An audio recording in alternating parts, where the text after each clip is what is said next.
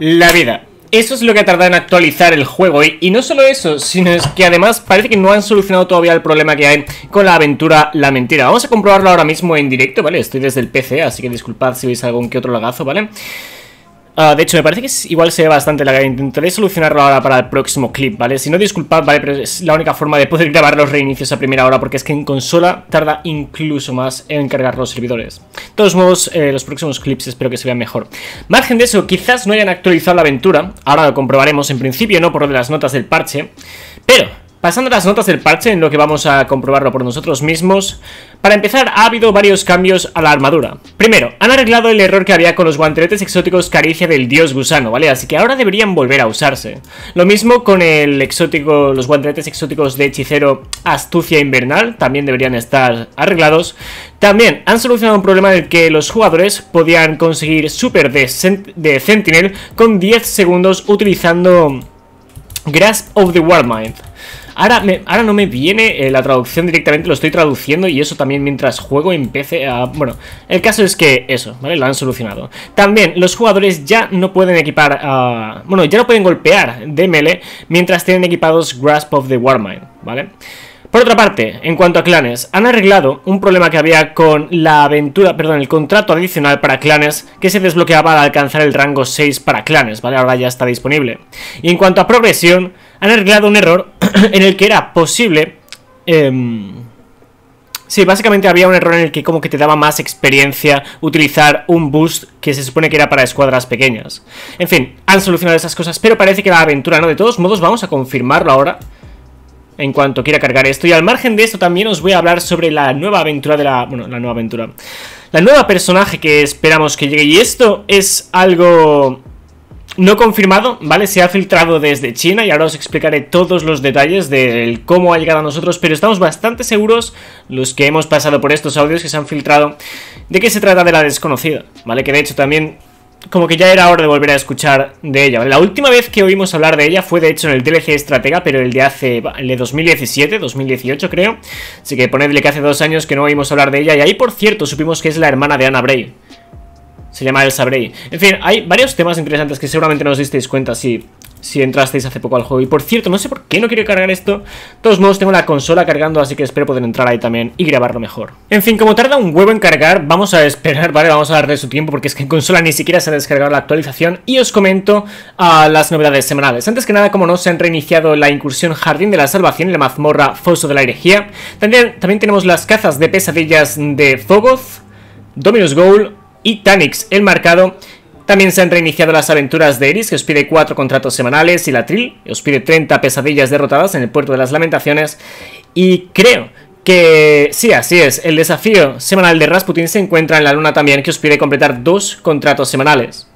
Como os digo, aún no sabemos si lo de la mentira está solucionado, a breve saldremos de dudas, supongo. Y parece que no, por lo que nos dijeron, ¿vale? Nos dijeron en el tweet, que supongo que estaréis viendo de fondo en pantalla, que lo están investigándolo todavía, ¿vale? Y en cuanto tengan más información sobre ello, nos actualizarán. Saben cuál es el error, pero aún están trabajando en solucionarlo. En fin, como siempre tenemos las partidas de Crisol que os recompensarán con el equipamiento hito al completar 4, suerte para que sean victorias, y tenemos los modos de juego enfrentamiento y dominio.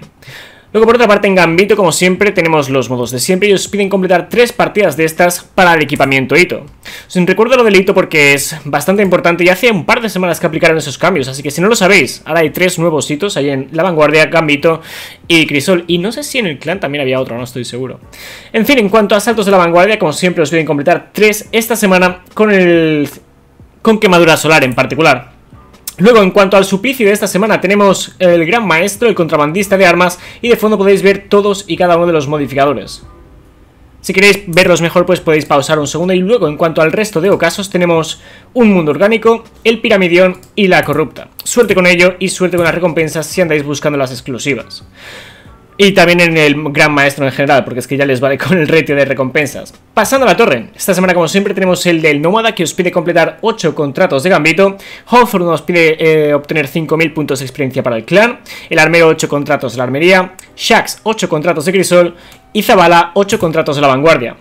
Margen de eso, ahora vamos a actualizar, bueno, os actualizaré respecto a las pirámides también, a ver si es que quiere cargar esto. De hecho, vamos a ir directamente. Vamos a ver qué onda con los doritos, a ver cuánto han avanzado. Deberían llegar en dos, espera, dos, Creo que sí, en dos semanas, no, tres, tres semanas deberían estar aquí los doritos. en fin, vamos a ver qué tal el mapa y vamos a comprobar si es que lo han arreglado. Ojalá sea así, vale, y si es así, pues igual el reset tarda algo más porque voy a grabar esto, pero... En fin, en principio no debería estar arreglado. De fondo podéis ver cómo han avanzado los doritos, ¿vale? Están a punto de llegar a Saturno, a Titán, ¿vale? Les quedan dos, tres semanas, ahí los veis. Y ahora, Oye, no sé por qué puñetas no logro bajarme de la Sparrow, no va en broma. Ahí estamos, vale. Estoy en PC y no suelo jugar en PC. Ahora, vamos a ver qué onda. Estoy bastante seguro de que habrá algún error, ¿vale? Pero, hey, vamos a comprobarlo por nosotros mismos para salir de dudas. Media hora cargando después, como veis, siguen sin haber solucionado el problema con la aventura. Algunos me habéis pasado captura de esto en plan como con la aventura activada, pero no está activada, ¿vale? No se puede continuar con ella, así que os mantendré informados, ¿vale? Estad atentos a Bungie, perdón, at Bungie Help en Twitter si queréis ver cuándo lo solucionan y cuándo van a aplicar el cambio. Esperemos que sea al menos para este viernes, ¿vale? Cuando llegue la actualización de Chur, si no antes, ¿vale? Os mantendré informados. Al margen de eso, vamos a pasar rapidísimamente por Eververso a ver qué novedades nos ha traído y también esperamos que ocurra la cinemática que se filtró hace unas semanas, probablemente sea a una o dos semanas de que termine esta temporada, teniendo en cuenta lo que vimos, ¿vale? Si recordáis lo que vimos, pues más o menos os hacéis una idea. Entonces, al margen de eso, Pasando a Eververso, de fondo podéis ver lo que podéis comprar con plata esta semana. Y en cuanto al polvo luminoso tenemos Flecha del Tiempo, el gesto Don Sombra, que por cierto está bastante guapo. Tenemos la proyección de las pruebas de Osiris, que debería estar como recompensa dentro del juego, pero ya les ¿vale?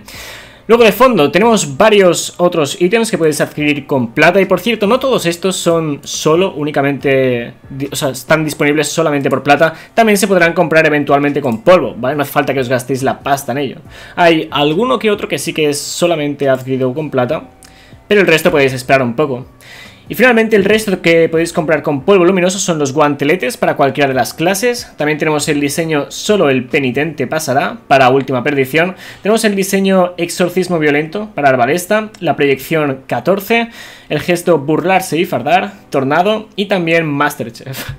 En fin, estos son todos los ítems que tenemos en el verso y ahora rápidamente vamos a pasar por el desafío ascendente antes de hablaros del Sabré. Ahora, para llegar al desafío ascendente de esta semana tendréis que dirigiros primero a Rea Silvia, aquí donde veis, y entrar en el sector perdido Cámara de las Estrellas, ¿vale? Recordad también, obviamente, activar la tintura para poder ver la entrada. Entonces, bajáis por aquí entráis al sector y, seguís el camino que veréis de fondo en pantalla. También, por cierto, seguramente estéis viendo bastante lag, ¿vale? Creo que es porque tengo un puñado de programas activados y no me ha pasado nunca lo de tanto lag grabando en PC.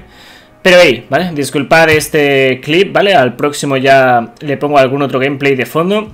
En lo que hablamos de El Sabré, ya os digo que está bastante interesante eso. Pero para los que aún tengáis que completar los desafíos ascendentes, nada más tenéis que llegar a este sector perdido este fin de semana y dirigiros a la parte final donde hay un par de Hobgoblins, ahora os veréis y entrar en el portal.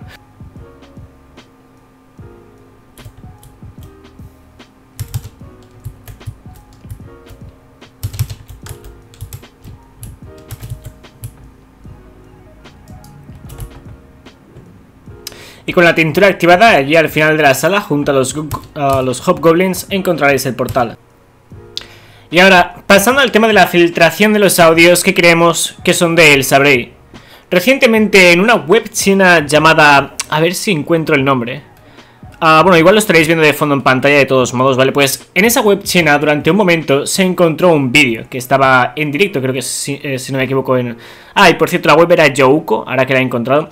El caso es que ahí se encontró un vídeo que eliminaron rapidísimamente, pero que alguien logró screenshotear, ¿vale? Y ahí podemos obtener varios audios en los que escuchamos una voz femenina de un personaje que debería aparecer en Destiny. Vale, esto sigue sin ser confirmado, ¿vale? Sobre todo por la fuente que tenemos, pero si escucháis la voz y la comparáis con la de Elsa Bray es muy parecida.